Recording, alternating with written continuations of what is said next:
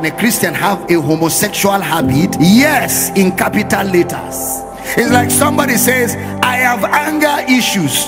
I am working on it. It's the same thing. He has homosexual issue he is also working on it. I have anger issues. I know I am saved. I know I am born again. I am working on it. Yes, the homosexual has homosexual issues. He's born again. He is saved. He is working on it. It's identity crisis. The question is if such people are saved and they go and change their organ, will they be in heaven? Yes, they will be in heaven, but they will have earthly shortages. Homosexuality is in the same class with lies, and it's in the same class with anger, and it's in the same class with unforgiveness. It's only in your head that is big.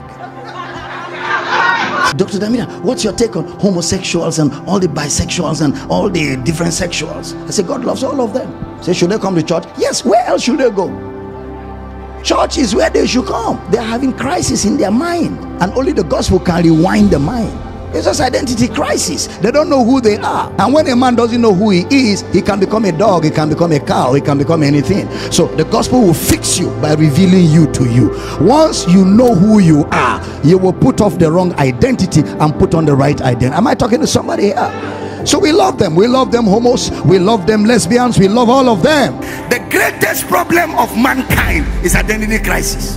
That is why the solution to man's problem is the revelation of Jesus. When you see Jesus, in Jesus you see yourself. Once you see yourself, crisis ends. Oh, like never before, that's our mandate to reintroduce Jesus to this generation. Equipping the believer to know who you are in Christ, what you have in Christ, and what Christ can do through you. That's what we're about as a church. And I declare unto you, you will proclaim this gospel. So man with man is a sin, not a sin in a special book of the Bible. Not a sin in a special book of the Bible. To say I'm a homosexual is like saying I'm a prostitute. It's like saying I'm a fornicator. It's like saying I'm a liar. It's the same thing.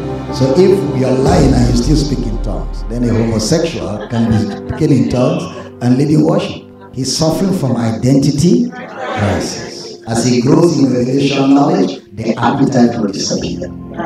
All these guys will say, I feel like a woman. Sin is judged after faith is rejected. Jesus never singled out anybody's sin. Jesus never singled out anybody's sin. What Jesus singled out was unbelief. What Jesus singled out was unbelief. You can't deal with it, but Jesus has dealt with it. You can't handle it. Hey, brother, get out of the way. You are not the savior of the world. Jesus will take care of the matter. Let Jesus do what only He can do in people's life. Stop being the registrar of heaven and stop being the secretary of heaven. Give way, my friend. You cannot save a fly. Let Jesus do what He alone can do. Leave the man with Jesus. Two of them will sort themselves out. Am I talking to somebody here? Mendo Labayata. Stop looking for people's shortcomings. You too, you have your own. Concentrate on your own and solve your own. Jesus knows what to do with them. The gospel is the power of God unto salvation. Zigadagabayada. Zigagabadagaya.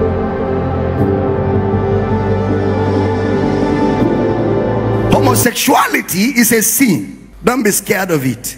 Somebody says I'm a homosexual. I say, I blood of Jesus. Stand there. No, no. It's a sin like every other sin. For the wrath of God is revealed from heaven against all ungodliness and unrighteousness of men who hold the truth in unrighteousness. Wherefore, God also gave them up to uncleanness through the lust of their own hearts to dishonor their own bodies between themselves. Underline that to dishonor their own bodies between themselves, who changed the truth of God into a lie they change the truth of God. A man goes to hospital, removes his organ as a man and wears a woman's organ. Who changed the truth of God into a lie? A man looking for another man to sleep with. In a world of so many women that humorously within the week I even had there's a nation where their president said every man should marry two wives because the women are too much. So in a world of so many women, a man chasing man, bro.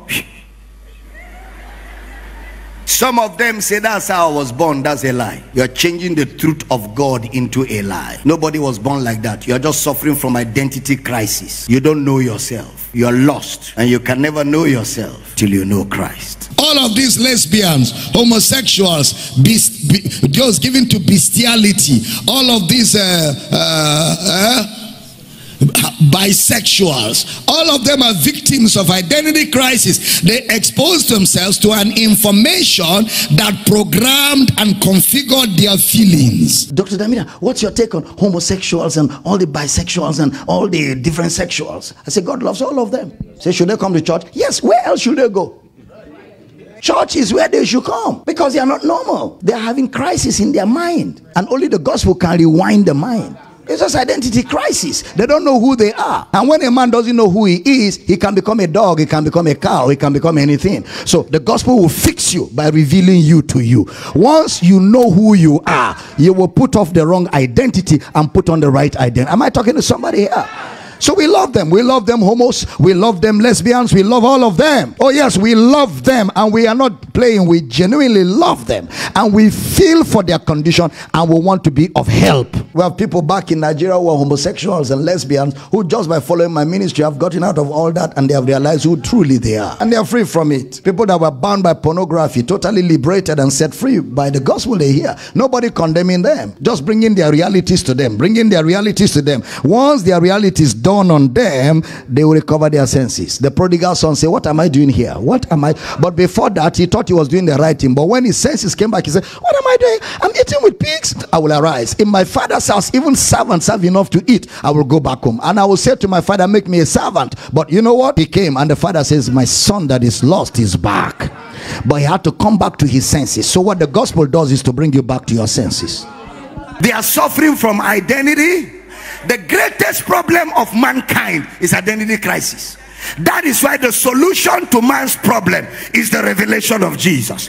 When you see Jesus, in Jesus you see yourself. Once you see yourself, crisis ends. Oh, like never before, that's our mandate to reintroduce Jesus to this generation. Equipping the believer to know who you are in Christ, what you have in Christ, and what Christ can do through you. That's what we're about as a church. And I declare unto you, you will proclaim this gospel. First Timothy 1:10 For warmongers, for them that defile themselves with mankind, that defile themselves with mankind, that defile themselves with mankind is the Greek word. It means man with man. To defile with mankind means man going after man. Is a sin. Romans 1:27 again, you will see it there. And likewise, also the men living the natural use of the woman, bond in their loss one toward another, men with men, walking that which is unseemly, and receiving in themselves that recompense of their error, which was meet. Men with men, walking that which is unseemly. However, it is a sin that is washed. Homosexuality is a sin that is washed in first corinthians 6 11 and such were some of you but you are washed you are sanctified you are justified in the name of the Lord Jesus and by the Spirit of our God. You are washed. So the homosexual man, the lying man, and those who are not in such habits, all of them require faith in Christ to be saved the homosexual, the liar, and those that don't have those habitual bondages. Both they and they require faith in Christ to be saved. So, man with man is a sin, not a sin in a special book of the Bible, not a sin in a special book of the Bible. To say I'm a homosexual is like saying I'm a prostitute, it's like saying I'm a fornicator, it's like saying I'm a liar. It's the same thing. Should a person who claimed to be a holy uh, to be Holy Ghost filled be a homosexual and lead the worship team in worship? Oh, yes, it's possible. Possible. Homosexuality does not allow a man from receiving the Holy Ghost. Just like the sins of men didn't stop Jesus from dying. Homosexuality is in the same class with lies, and it's in the same class with anger, and it's in the same class with unforgiveness. It's only in your head that is big.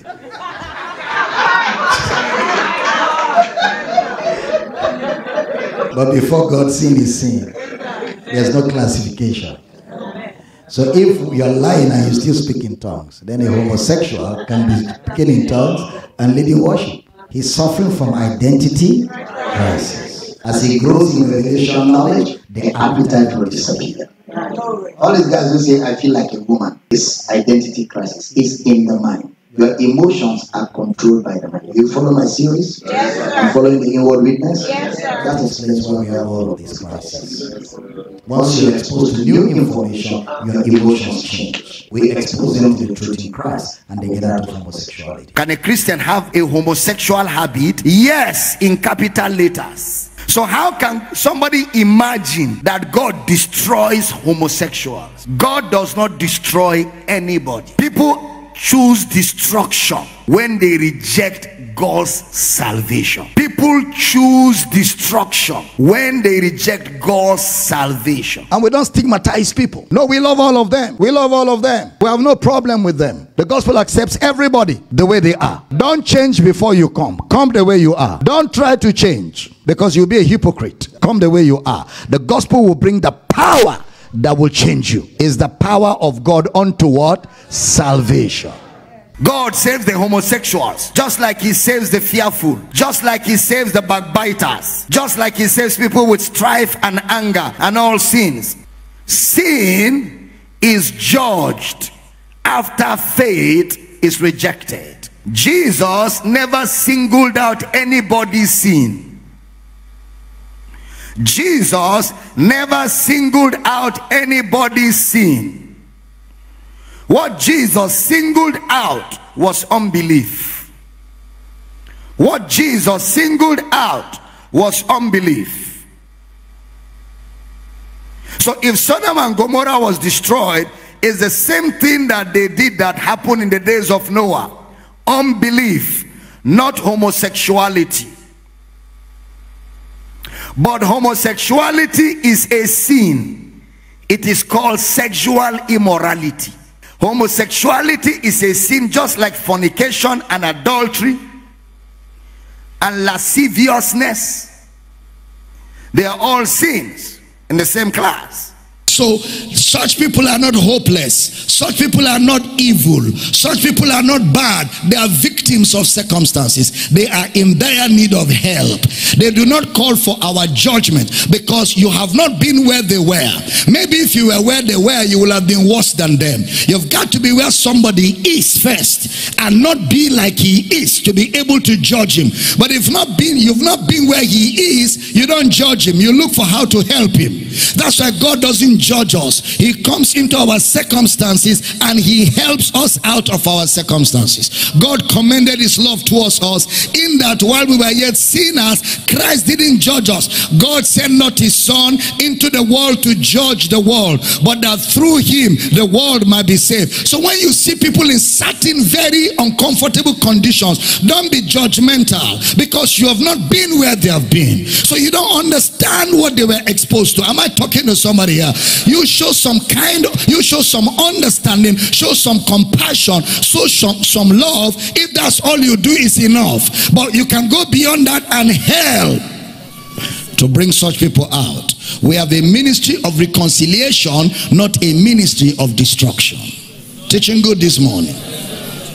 They didn't put themselves into those conditions.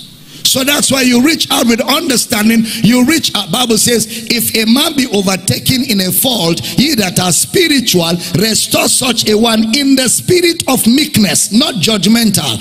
In the spirit of meekness, considering yourself, lest you also be tempted. Meaning that what they are going through, you're not better than them. Maybe if you're in their shoe, you will have been worse than them. So let there be an understanding as you seek to help people. Am I teaching good? It's like somebody says, I have anger issues. I am working on it. It's the same thing. He has homosexual issue.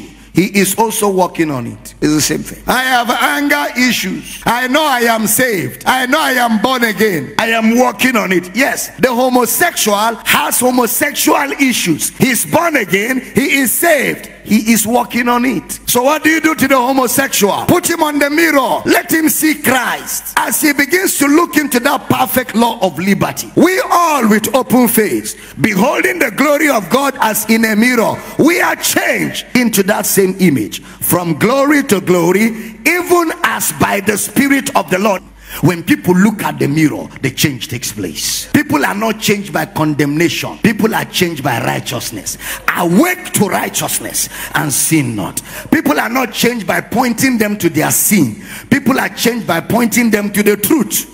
All I do is show you the truth. When I give you the truth, I leave you with the truth. The truth will do what it is best in doing. And what does the truth do? It sets free. We preach the truth. We preach the message of Christ. We leave people with Jesus. He knows what to do with them. You may reject the prostitute, but Jesus accepts her to kiss his legs. You can't deal with it, but Jesus has dealt with it. You can't handle it. Hey, brother, get out of the way. You are not the savior of the world. Jesus will take care of the matter. Let Jesus do what only he can do in people's life. Stop being the registrar of heaven and stop being the secretary of heaven. Give way, my friend. You cannot save a fly. Let Jesus do what he alone can do. Leave the man with Jesus. Two of them will sort themselves out. Am I talking to somebody here? Mendo Labayata. Stop looking for people's shortcomings. You too, you have your own. Concentrate on your own and solve your own. Jesus knows what to do with them.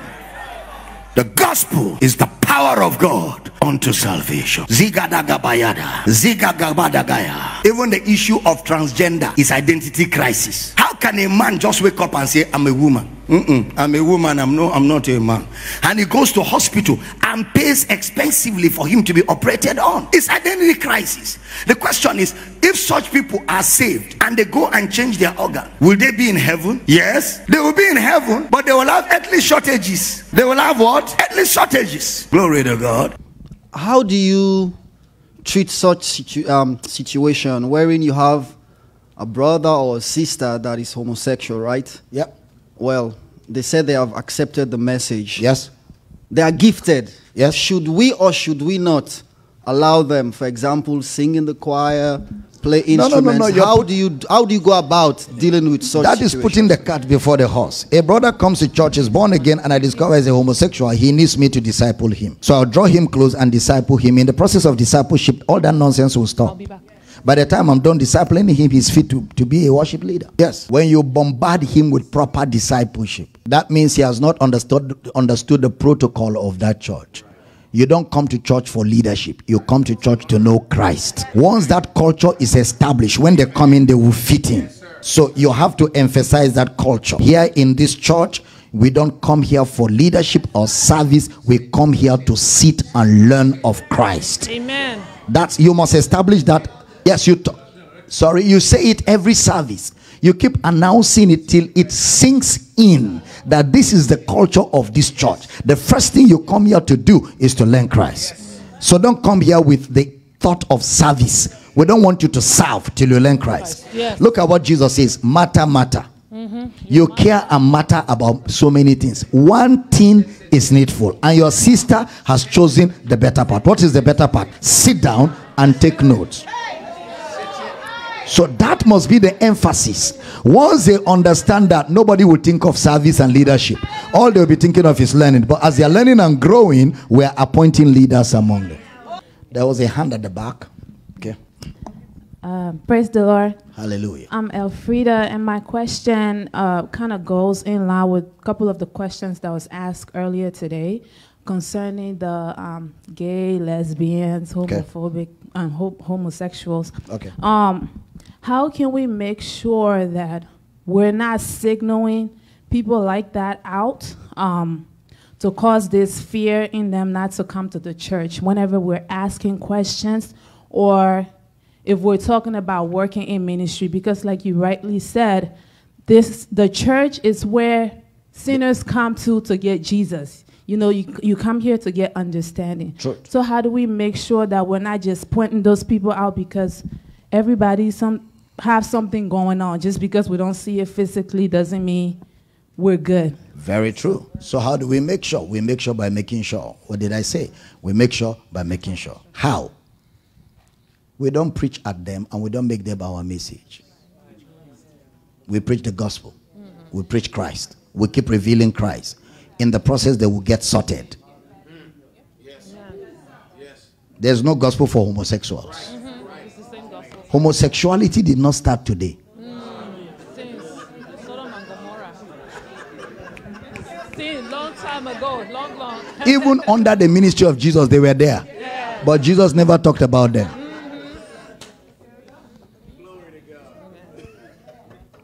We don't talk about them. The only time you hear me call homosexuals is when I'm doctrinally teaching to explain how God views such sins. That's the only time. Otherwise, you never hear it in my message.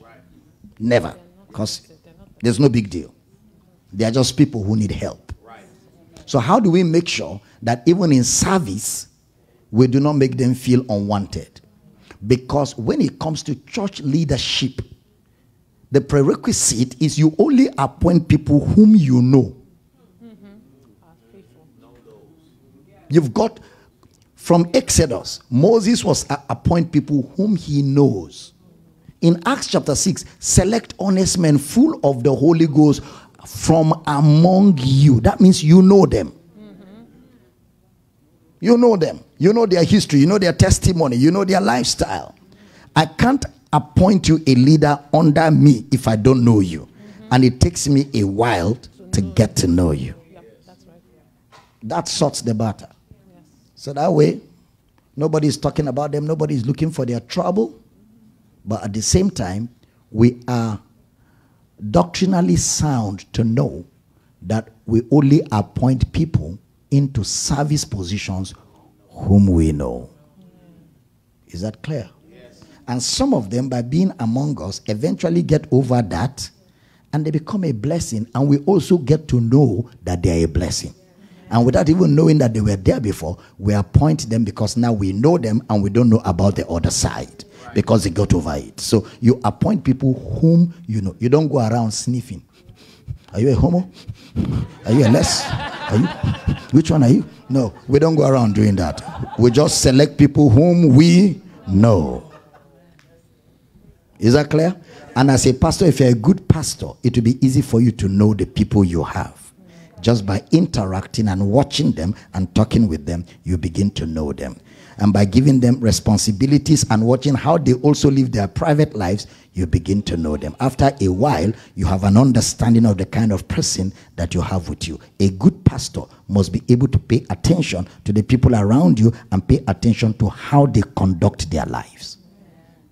A pastor must know that.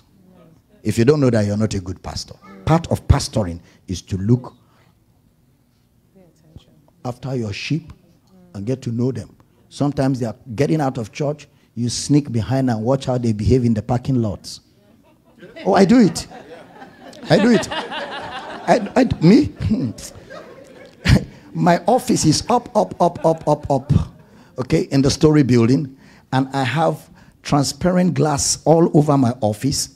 So I sit on my table and I watch people as they come to church.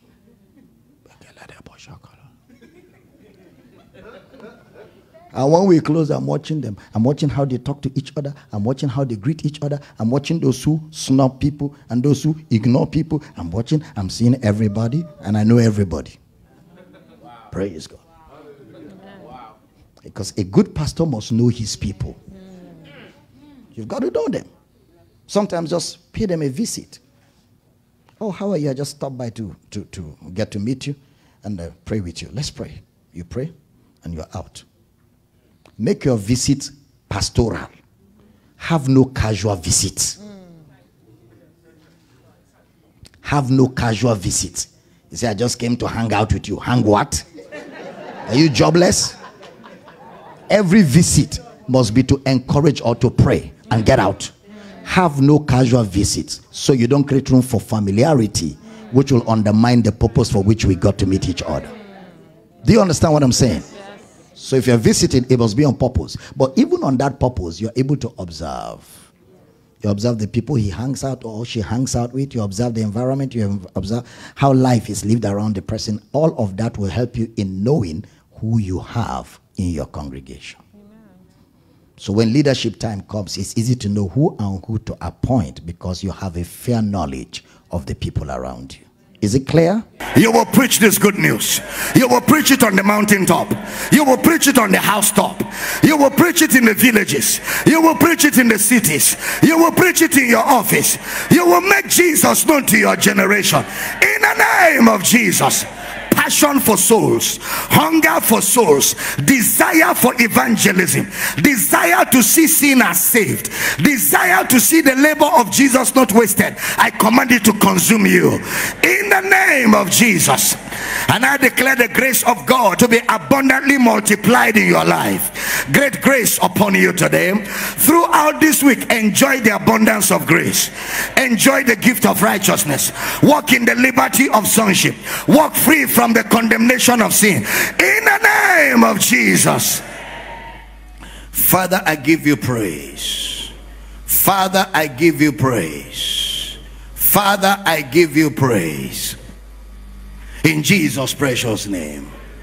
And every believer says that amen like you know what you're talking about.